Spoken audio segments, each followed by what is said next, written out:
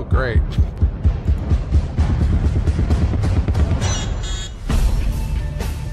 The intro is broken for this.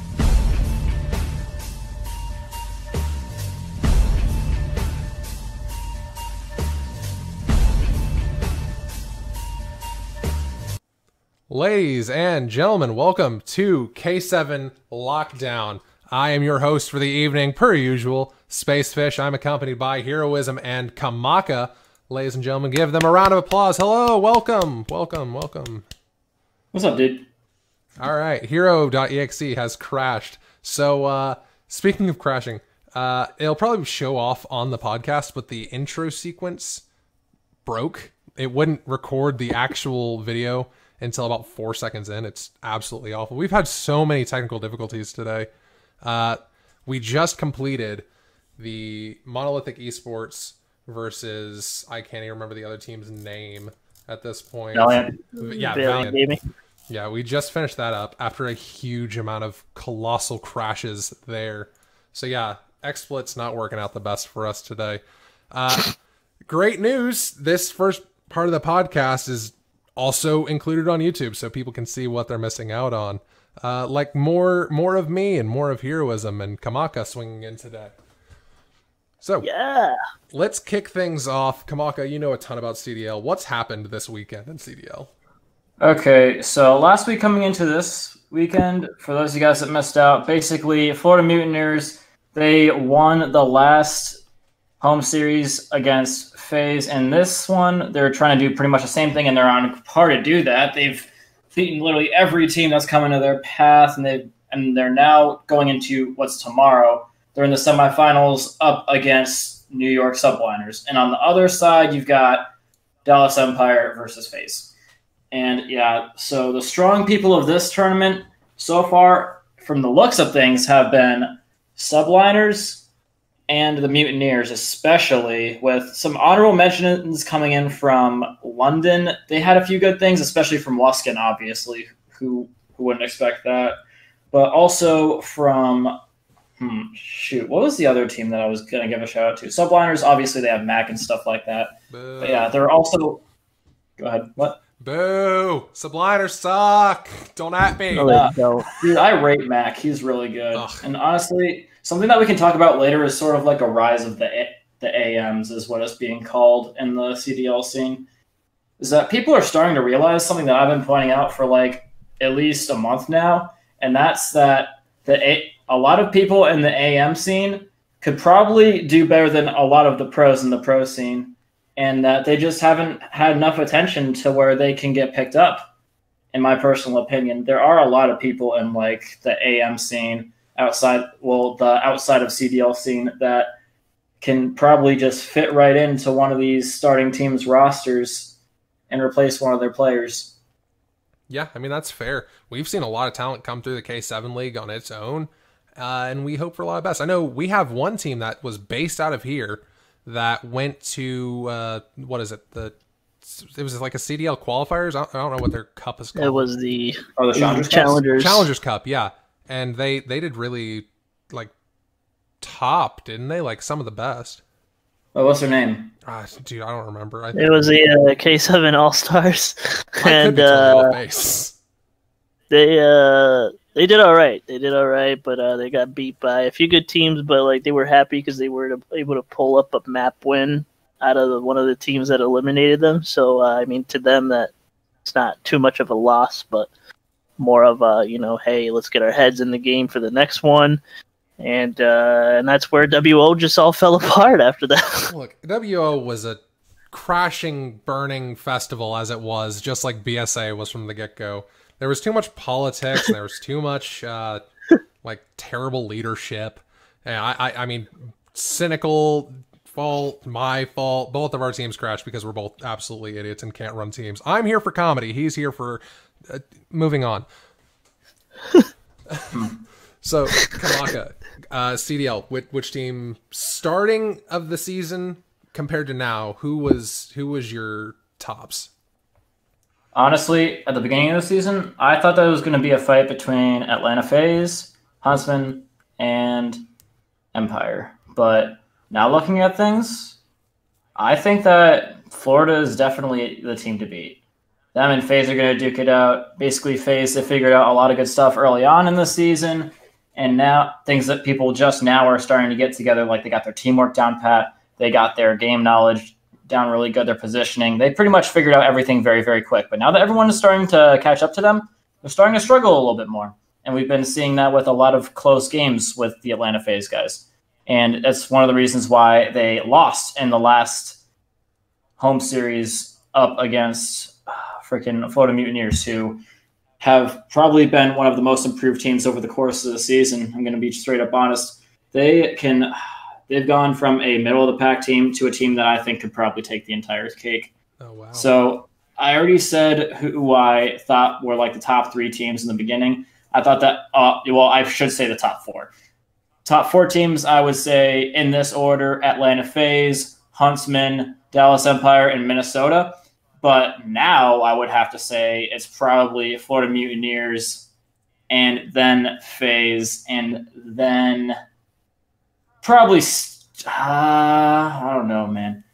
I would probably say still Dallas Empire and then Huntsmen, I would say, kind of falling off there a little bit too. Hey, hey, hey. Are you? Not look good. This Are you? series. They got. I'm pretty sure they got D- DFR'd. In in case I'm mistaken. Are you like a uh, C6 fan? No, I am definitely not a C6 fan by any means. Fun fact: I came from a Battlefield background, like where I got my start in casting in Battlefield, and he got his competitive start in uh, Battlefield. Fun fact. Oh, wow. So so y'all are like We do one and the have some, Y'all are best friends. Like y'all y'all hang out No, on the I weekends. don't.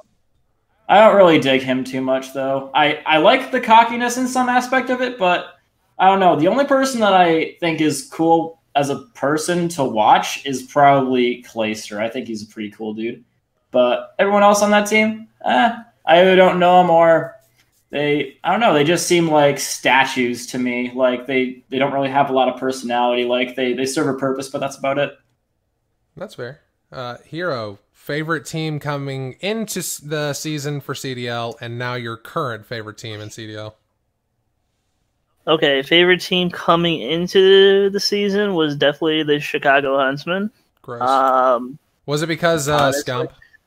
yes, I am a Scump fan. Yeah. Yes, to all the viewer discretion is Uh, advised. I am a Scump Scum. Bandwagon. I saying. am not a bit. Honestly, I really wanted to see Scump and the rest of the boys play at Optic, but you know, No. no. Uh, dude, could you imagine? That team would be a lot better if they had Scump. yeah, Oh, absolutely, I'm ready to bro. shit They're- they're hurting but bad, do that in a dude. minute. Uh, oh, Why that's gonna we be to good. shit talk? No, let's shit talk Optic right now, bro. Dude, Bro, Optic is is trash. bad, bro. Thi- This, is my entire opinion. Fuck Optic. Yeah, I'm gonna say it right here. This is part of the YouTube thing. Fuck Optic.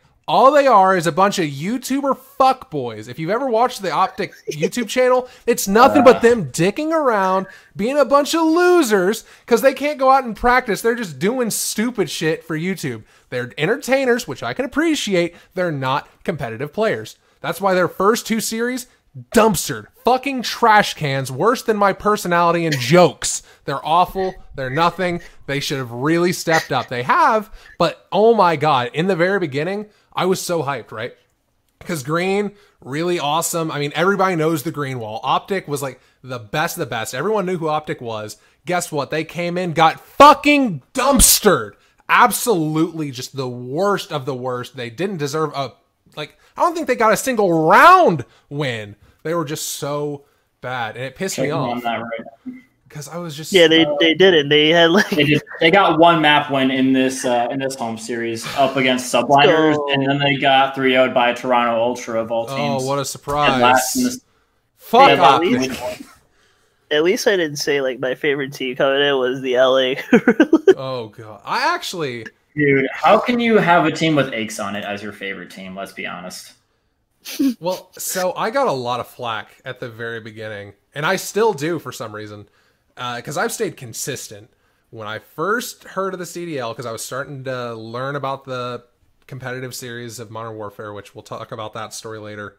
Uh, I I looked at the teams, I looked at all their logos. I was like, okay, cool, the Green Wall. I gotta subscribe to them on YouTube. FaZe? Oh fuck yeah, I gotta follow them too. I'm looking through all the teams like, man, all these kind of look really boring. And like I've never heard of any of these guys. And I saw the logo for the Florida Mutineers. I was like, all right, I can dig it. And I clicked on their YouTube channel, no videos. Uh, and I watched their intro or whatever. And I was like, all right, I'm in. I, I like these guys. Uh, I looked at their stats and everything, and these guys were pretty much nobodies. Like they had very little uh, records set, like tournaments won from all their guys in total combined. And going into the first series of CDL, they showed off all the stats. Like Florida Mutineers are pretty much the the back of the pack. No one's ever heard of. They're not going to do anything. They're just here. And I'm like, you know what? I'm gonna still support them because I think their logo looks cool, and I like the idea of a Yeah. a bottom of the board maybe making Those it are the come guys up. you gotta worry about the most. So it's like the people that you don't know. yeah, and then game one, I don't remember how they did, but it proved to me I was like, all right, the this is my team. And to this day, people constantly are like, "Oh, you're just bandwagon," and, and I knew in the back of my mind, I was like, "It's because Prestinni is a god. Like that's the main reason the Mutineers won in the very beginning because he's an absolute unit of a player. I disagree that Prestinni is a god. To be honest He's with so you, good. What do you mean? When he disappeared for a Dude. little while, they started to slip. no. Well, now that they got Owakening, they're doing a lot better than when he was there. Let's be honest. Bro, I love the Mutineers. I love Prestinni. I still love them to this day. And that reverse sweep against the Huntsmen proved to me exactly why they should have been my top team, and they still are. Oh man. All right. Well, finishing my answer, Yeah. Yeah. my favorite. Well, we had to talk shit about Optic. You chose this. You chose this life. I don't That's gonna be a really good clip. anyone, to be fair. my uh, favorite team now is the New York Subliners. Uh, because I just wow, love I the get taxi weird, weird. yellow. Hero just disconnected from the podcast chat. That sucks. Uh Oh, hold on, let me connect back and Oh, repeat it. yeah, okay. What now? What was Yeah. that hero? I, I heard your favorite team was the Florida Mutineers. I did I hear that no, right? no, that's it's uh north. It's opposite of that. Oh. New Oh York Subliners.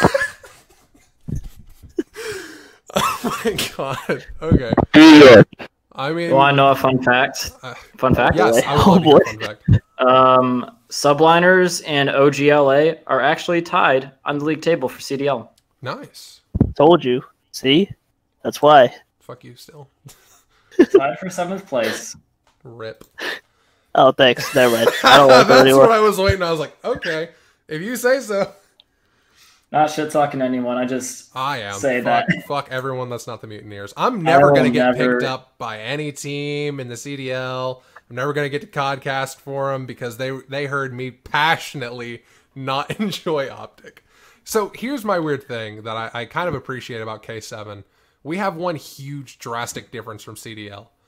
Our casters are very biased, or at least I am, and we are not Speak scared to give our opinions. Like we we want the people to know exactly who we are. And CDL is a little bit of here's their personality, but they're not going to give their input. I'm not scared to give my input, and I don't think anybody else here in the K7 League is. We're ready to say, hey, you just got absolutely knocked out by like what happened tonight, Valiant versus Monolithic. Monolithic mollywopped Valiant. I'd say that's fair. Yeah, I would say that was fair too. You're you're pretty rough. I, I went rough on them, which wasn't fair of me, but I think that's just because Monolithic's such like they did a whole lot better than I expected them to.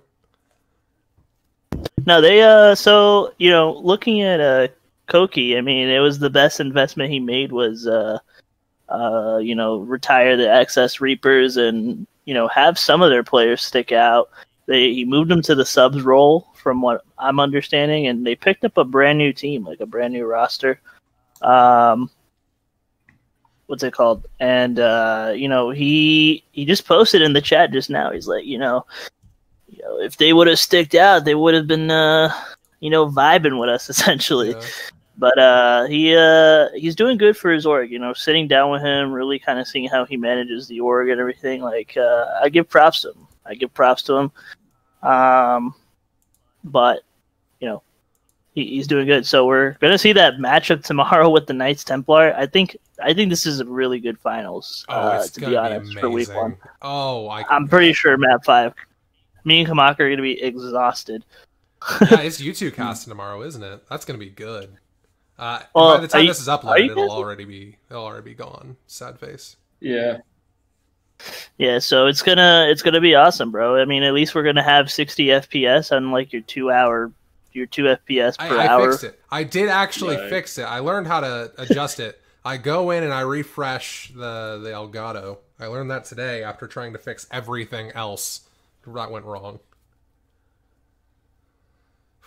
Wow, what a Well- long night! What a long, long night. Yeah. It, Def- definitely a long night. Definitely a really great start to the week with my computer Yes. frying the thermal paste. oh my the god! stream, What? Okay, so what happened? What happened with your PC? All I know is I kept getting spammed. Hey, are you home? Are you free? I'm like, no. Why? Well, uh, Heroes PC just literally took a shit on itself, and now we can't stream the game. so everything was going well. You know, like when you're on the, when you're on the XSplit broadcast, you get those alert messages yes. about like your performance. So everything was going well. We're streaming, played the music, played the fucking intro because it was awesome. So good. and yeah, so I always just when I see that intro. But uh he has a family. That's always the best part. I don't remember who I stole But, uh, either. That's the problem. I'm disappointed. the best part of it all is a a stolen meme. We're, we're making a new teaser. I'm just trying to take the best moments of like all the casters just screaming and everything. Like tonight, there was a lot of good screams. You're you're gonna definitely see me clipping that crap There's a lot of good ones. for uh for the intros. Uh, so yeah. Anyway, I started streaming, and you know we're like in the game lobby. And they're like, "Oh, we're ready. Everybody's ready." So as soon as I switch over to the game overlay, in-game overlay, everything just starts going bad. I get the alert. Warning: Your CPU might be affecting your output on your FPS. We we detected frame drops uh, I'm like, oh, that's great. That's not a message you want to see. And then get into the game. Vic's trying to cast off my stream. When he said he saw a tri- he said he saw a triple going in reverse. Uh, Oh, no. Wait, what? he, like the, so guy got a triple kill and he's like yeah i saw that shit in reverse bro. Your fps is because your fps is like two frames per like Hour. hour, i was like oh that's great. Um so yeah everything just fried. We still played out map one. You know the refs still did their stuff. They still had to continue the game. Uh there was streams being streamed off their perspectives I had to go buy a can of air for electronic components, guys, because Oh, there's wow. two types of cla- can of air. There's regular canned Mm. air. I learned this at Walmart, by the way. Okay. Gotta make sure you get that correct air. Yeah, you got to get the right one. Uh, canned air is for regular stuff, and then there's electronics duster. Is it like blow canned softer air. or? It just, it's just that. Imagine walking up to a So- bitch. Yo, you talking shit? You took it, yo. Yeah. I'll pop you. I'll pop you. So yeah, I so as soon as I I opened my computer because I built this PC in 2013, so that Oh, that explains Yeah, everything. that's a- yeah. Um, it's an i5 core, which isn't like bad, but That's Oh, not if. I knew what that meant, I'd be really impressed. it's just like the Processor. The processor in the the PC. I got an i7 now, and the new one that I got, so it's gonna run That's way like a whole two smoother. numbers better. Wow, that's pretty cool. Yeah, it, it literally is a lot Because better. I Yeah, it's a ninth generation i7, so whatever that means. No, I know what it means, but uh, the processing speed is going to be way better. Um, What all that put you back for though? What all that put you back? Like how much everything cost you? Um, I was, I would say it costed me with tax a thousand one hundred. But hey, at least now you can stream until Yeah. your Well, I'm gonna Wi-Fi use the PC for crashes on you because your internet's garbage. Well, I bought a seventy-five foot cable that runs from my living room to my room. Seventy-five foot. Okay. Yeah, As long. it wasn't the need for that. Wow. wow. Okay. Wild. But uh, but anyway, yeah, my PC just crashed. It still works. I'm on it right now as we're doing this cast, and uh, you know, it just doesn't work for streaming. So, Uh, you know, it had to retire the old boy. I'm going to give it to my father for Father's Day tomorrow. Oh, great. hey, here's a piece of shit. Uh, I hope it works for you. It doesn't work for me. Happy Father's Day. Thanks for not walking out on me. I already called him. I was like, "Hey, oh, Dad, you want a PC? Happy Father's Day." So yeah. Anyway, I took this can of air and I blew that baby inside. Dude, there was so much dust. It felt. I, I thought somebody died, and I put their dead skin in there. Don't ask me why. But uh, that's some yeah, details that's, that we don't talk about in public. Yeah, no. I mean, uh, I he wouldn't I, know what that looks uh, like. Sand, Sand. sand. There was yes. sand in my computer. Yes. Yeah. You took your yeah, computer to the beach. bodies. Uh, well, uh, yes, yes, yes, yes. Oh man. to be exact. But yeah, that's what happened, and then uh, everything went chaotic from there. But uh, Kamaka had his like wisdom teeth pulled out. That was fun. How did that go? He couldn't do the Thursday. I, I've never had my teeth. yeah, tell us. Tell us. Well, I mean, like, I didn't think I was going to have to get them taken out either, but here I am without any wisdom teeth at 23 years old, just got them taken out.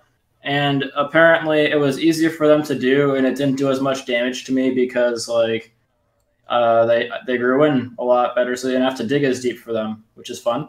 Well, And yeah, so basically, I'm recovering very, very quickly with regards to everyone else. Normally, I wouldn't be able to even speak right now without like having any issues. But like, not only am I like healing remarkably fast, but like I didn't have a whole lot to heal from. So it's all going pretty good.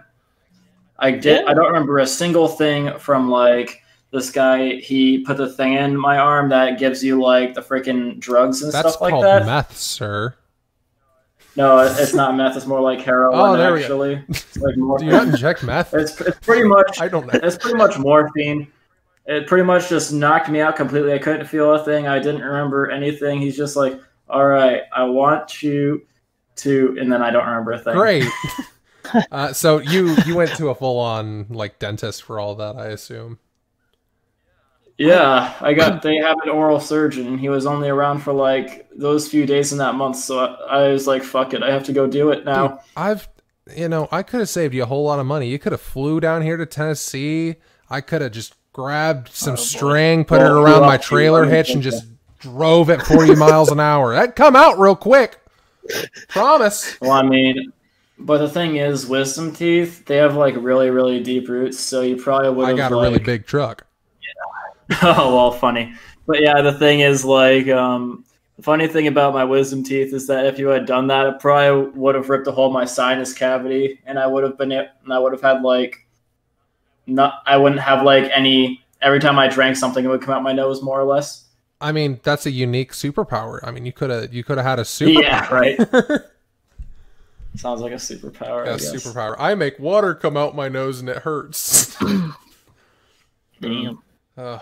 Mm. So wisdom Sounds teeth come good. out. That sucks, dude. I I dread the day that happens because I'm sure it's gonna end up happening to me. And I don't have fucking Dude, dental insurance.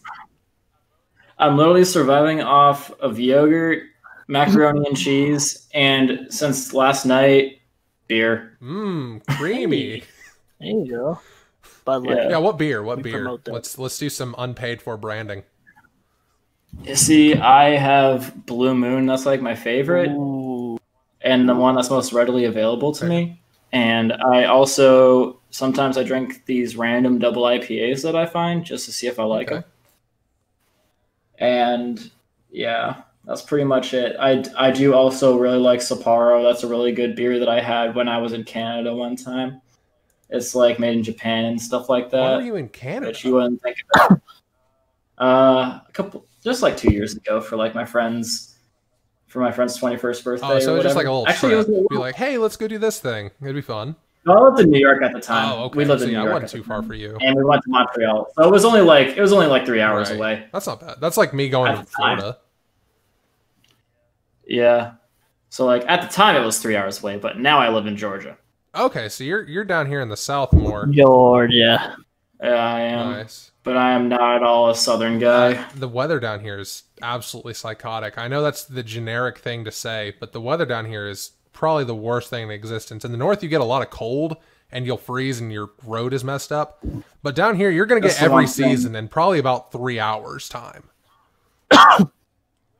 The one thing that I appreciate about it down here is that you see, I used to live in like upstate New York for most of my life, and then I lived in central New York, which is right near the Great Lakes are. So we basically had from October until the end of May, we had winter. And then from then on, we had like one month of spring and one month Mhm. of fall, and the rest was Yeah.